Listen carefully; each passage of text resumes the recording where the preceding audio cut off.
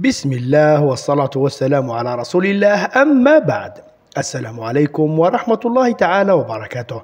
مشاهدينا الأعزاء في هذا الفيديو الجديد على قناتكم بسان والكرة مباشرة إلى أخبار اليوم بعد هذا الفاصل القصير. ابقوا معنا.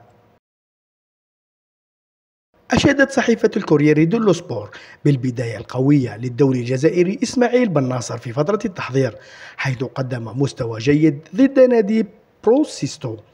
بن ناصر كان قد افتتح عداد فريقه من الأهداف بتسديدة يسرى قوية وافتتح معها موسم التحضيرات كله على أمل أن يكون أن يقدم عفوا مستوى كبير كالذي قدمه في بداية الموسم الماضي ويقود ميلان لبداية قوية.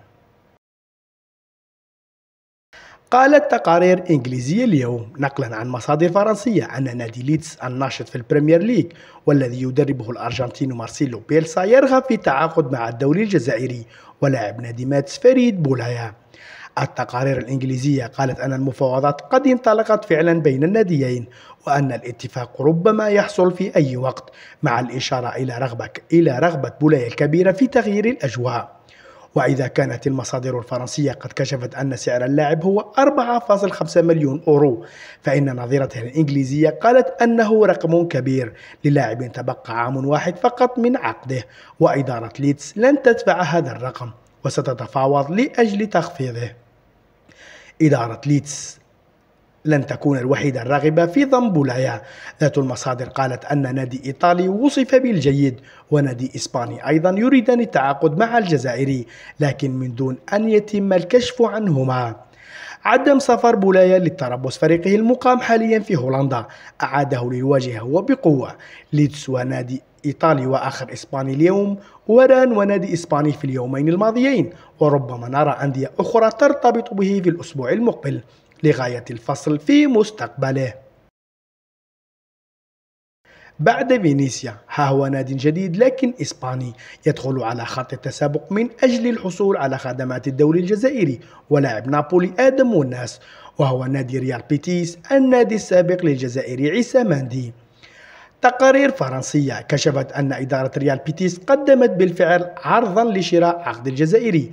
بلغ 7 ملايين أورو. لكن من دون أن تكشف ما إذا كان العرض قد لقي القبول أم لا ولو أن التلميحات بقوته كانت كبيرة. في ذات السياق قالت تقارير إيطالية اليوم أن إدارة نابولي تبحث عن مخرج للاعبها الجزائري آدم وناس حتى أنها قامت باقتراحه على إدارة نادي سامدوريا ورئيسه ماسيمو فيريرو. موقع سامب نيوز 24 قال أنه ورغم وجود نية تسهيل الانتقال إلا أن الحديث عن وناس في سامدوريا مبكر جدا لعاملين مهمين وهما سعر اللاعب وأيضا المنافسة الكبيرة عليه بما أنه مطلوب بقوة من عدة أندية. صحافة سامب رغم ذلك قالت أن وناس اسم مغر جدا وسيكون ملائم جدا لخطة المدرب دافيرسا كما أن اقتراحه من طرف دي لورانتيس شخصيا على فيريرو ربما يعني تسهيل رحيله. تعاقد نادي ليون الفرنسي مع المدافع الجزائري الشاب سفيان كولا. سفيان كولا صاحب التسعة عشر سنة فقط تمكن من إقناع إدارة ومدرب ليون في فترة التجارب التي خاضها عفوا مع الفريق في آخر شهرين.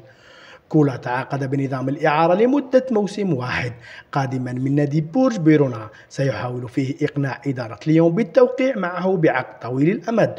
وقد بدأ رحلة الإقناع فعلا بمشاركته في لقاء فيلفرانش الذي جرى يوم أمس. يبدو أن الرغبة الكبيرة في بيع لاعب الخضر سفيان فيغولي من طرف إدارة ومدرب جالاتا سراي قد خفت ويمكن أن تختفي أصلا في حال قدوم لاعب الخضر الآخر ونادي ليستر سيتي رشيد غزال. موقع تقويم التركي الشهير محليا.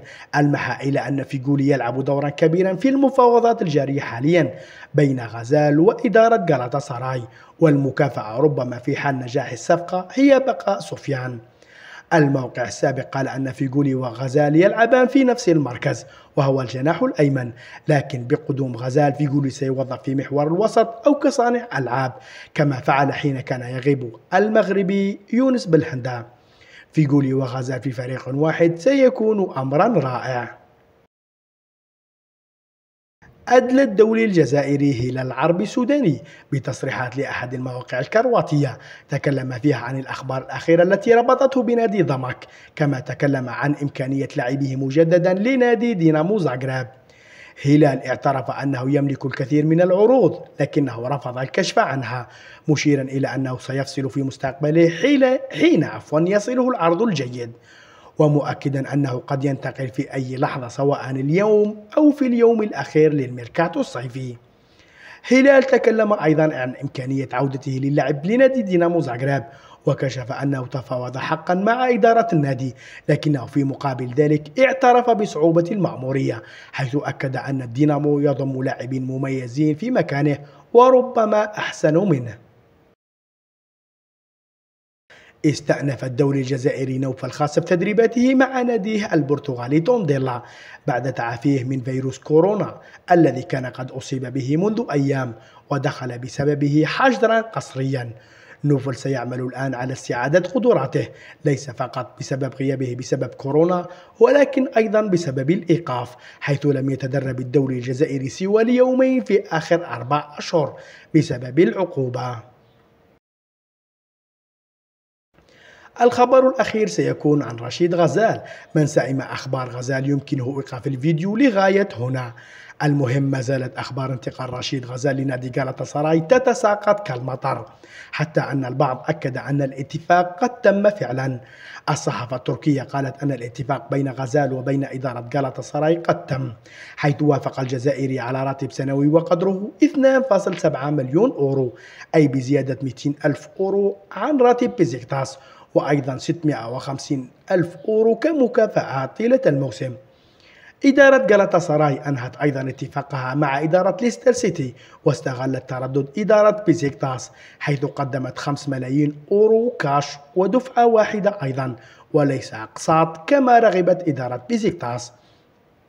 المهم الصحافة التركية تجمع على أن غزال أنهى اتفاقه مع جالاتا سراي ووكيل أعماله سيكون حاضرا سهرة غد الاثنين لأجل حسم الأمور لكن يبقى كل شيء وارد لأن مسلسل غزال كما أصبحتم تسمونه فيه الكثير من الإثارة والجديد اليومي. إلى هنا يكون عددنا لنهار اليوم قد انتهى المصادر في صندوق الوصف. عفوا لمن يريد التعمق في أخبار اليوم أو التأكد منها. إن شاء الله سيتجدد لقاؤنا يوم الثلاثاء المقبل ثاني أيام عيد الأضحى. فعيدكم مبارك وتقبل الله منا ومنكم صالح الأعمال. أودعكم لنهار اليوم وأضرب لكم موعدا مقبلا إن شاء الله في عدد جديد. ابقوا أوفياء للقناة وواصلوا دعمنا. السلام عليكم.